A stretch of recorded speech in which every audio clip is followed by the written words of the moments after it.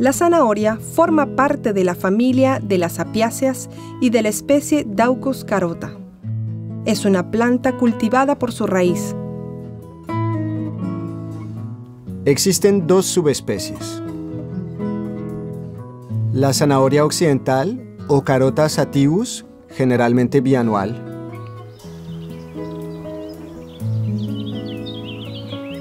Y la zanahoria oriental o carota atro rubens, generalmente anual.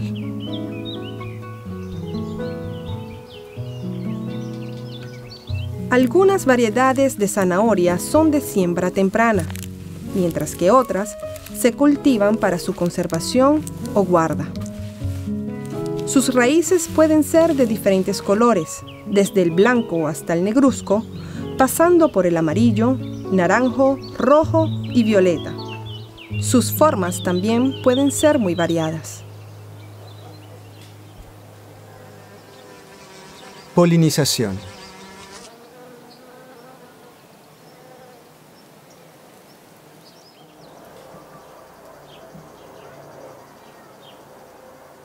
La inflorescencia de la zanahoria es una umbela compuesta por pequeñas flores que suelen ser hermafroditas. Los estambres u órganos sexuales masculinos generalmente maduran antes que el pistilo u órgano sexual femenino. Por esto no hay autofecundación dentro de una misma flor. Como las flores no se desarrollan todas al mismo tiempo, puede haber autofecundación dentro de una misma umbela o entre dos umbelas de una misma planta. También puede haber fecundación entre umbelas de diferentes plantas. La zanahoria es por lo tanto alógama y los insectos son los principales polinizadores, por lo cual hay riesgo de polinización cruzada entre diferentes variedades.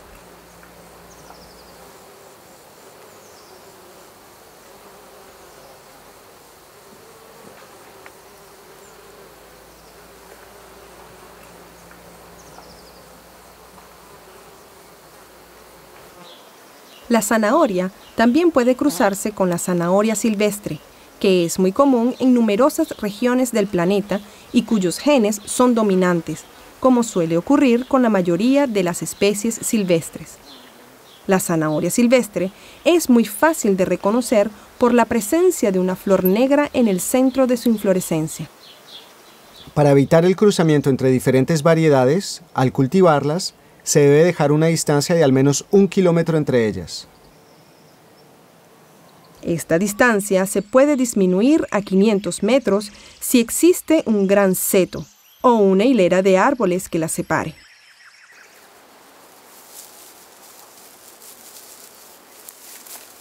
Para cultivar dos variedades distintas en un mismo huerto, se puede practicar el aislamiento varietal, con mallas mosquiteras abiertas de manera alternada o bien con una malla mosquitera fija con colmenas de insectos adentro.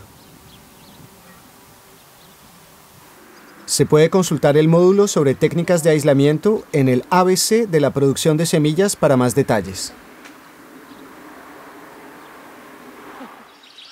Ciclo de vida.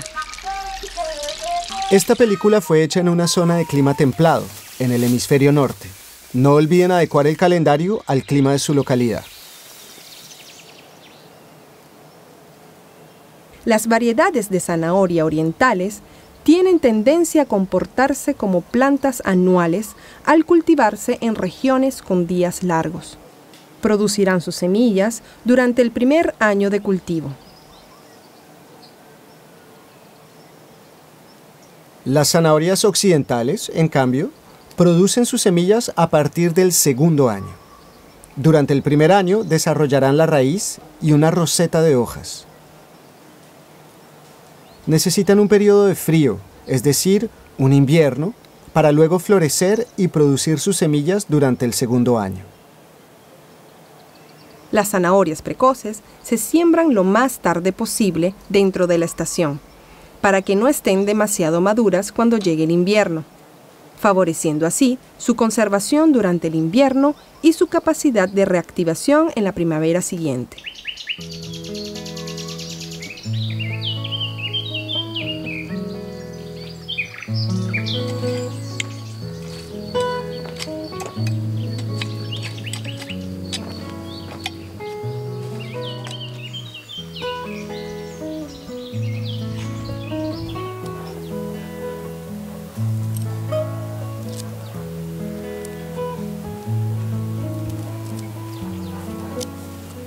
Existen diferentes métodos para conservar las zanahorias destinadas a la producción de semillas durante el invierno que se adaptarán en función de la región y el clima. Si el clima lo permite, lo más sencillo es dejarlas en la tierra durante el invierno. A veces, un acolchado de paja es suficiente para protegerlas de las heladas más suaves. En las regiones de clima más frío, donde el riesgo de heladas es mayor, se tendrán que sacar de la tierra antes de que las heladas comiencen y se conservarán en un lugar protegido. No se seleccionarán las plantas que hayan florecido durante el primer año, ya que las zanahorias provenientes de sus semillas tendrán tendencia a florecer cada vez más temprano. También se descartarán aquellas zanahorias que formen un cuello verde y las que se rajen o formen varias raíces. Después de cosecharlas, las raíces se limpiarán ligeramente, sin lavarlas. Las hojas se cortarán por encima del cuello y se dejarán secar.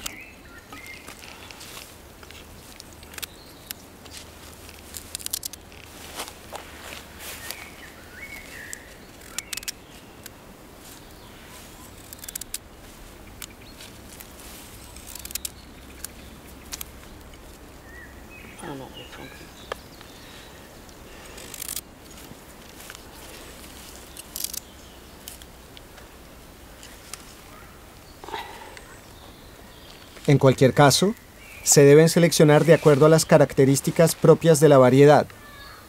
Color, forma, vigor y capacidad de conservación.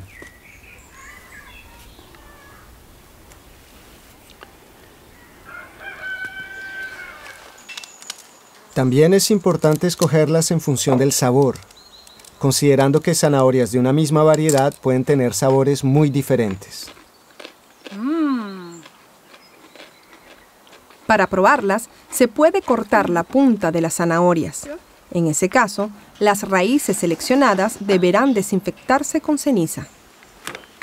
Luego, las zanahorias seleccionadas se colocarán en arena, dentro de un silo, protegidas de las heladas.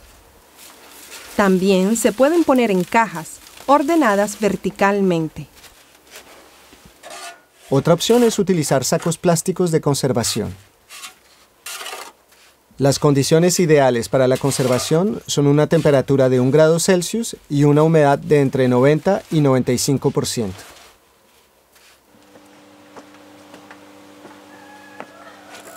Durante el invierno será necesario revisar regularmente las raíces para eliminar las que estén podridas.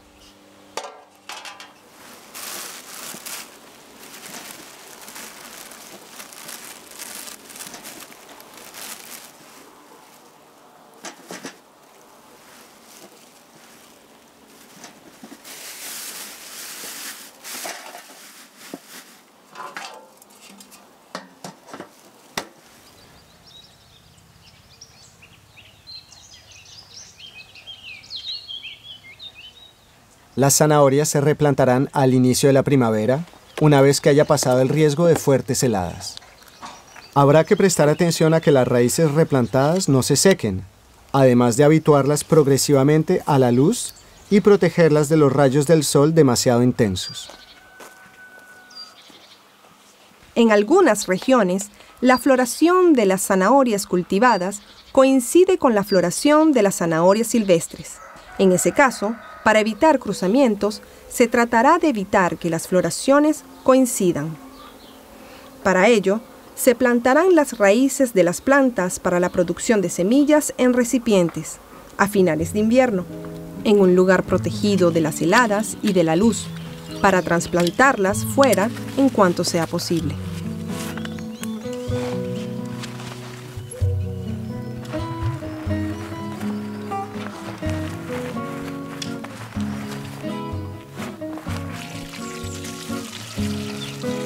Mantener una buena diversidad genética, se plantarán como mínimo 30 plantas para la producción de semillas, aunque lo ideal sería entre 50 y 100.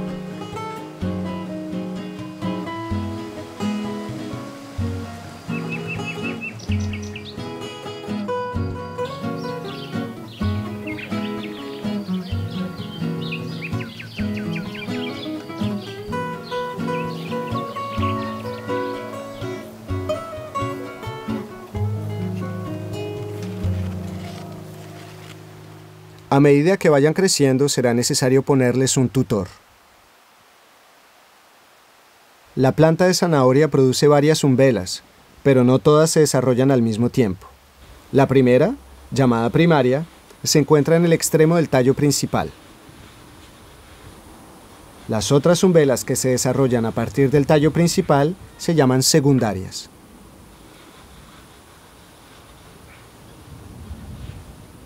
Las umbelas ubicadas en los tallos adyacentes se conocen como terciarias.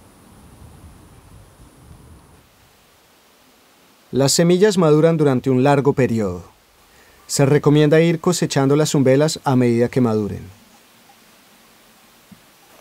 Se priorizarán las umbelas primarias, pues son las que producen las semillas de mayor calidad. Solo si es necesario se cosecharán semillas de las umbelas secundarias. Se cortarán con un pedazo de tallo una vez que las primeras semillas maduras comiencen a caer. Si el tiempo es ventoso o lluvioso, se podrán comenzar a cosechar antes, ya que las semillas se caen con mucha facilidad.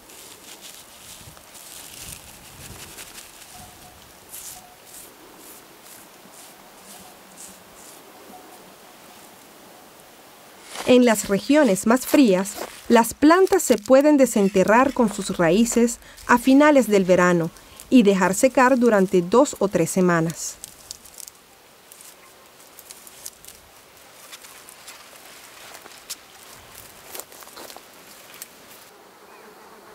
En todos los casos se recomienda continuar el secado en un lugar seco y ventilado. La maduración de las semillas continuará poco a poco, a medida que se vayan secando.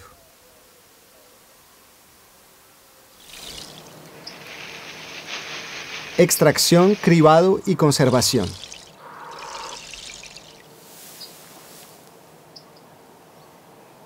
La extracción se realiza frotando las umbelas entre las manos, protegidas con guantes, ya que las semillas tienen pinchos. Al frotarlas directamente sobre un tamiz, las semillas se desbarban. Para el cribado, se utiliza primero un tamiz grueso que retiene los desechos más grandes.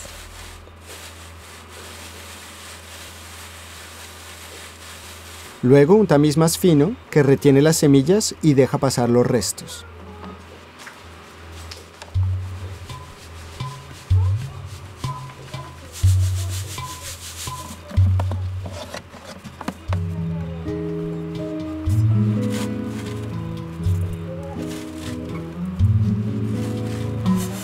Finalmente, se pueden ventear o seleccionar a mano para retirar los últimos desechos.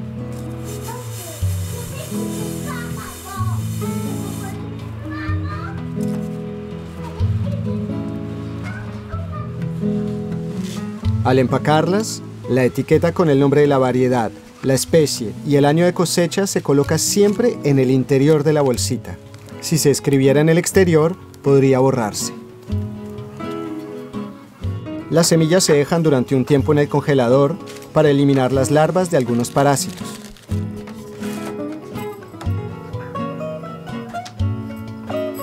Las semillas de las zanahorias tienen una viabilidad de 5 años, que puede llegar hasta 10 años. Esta duración puede prolongarse si se conservan a baja temperatura. A veces las semillas pueden quedarse en estado de dormancia durante los primeros tres meses después de la cosecha. Un gramo de semillas no desbarbadas contiene entre 700 y 800 semillas aproximadamente.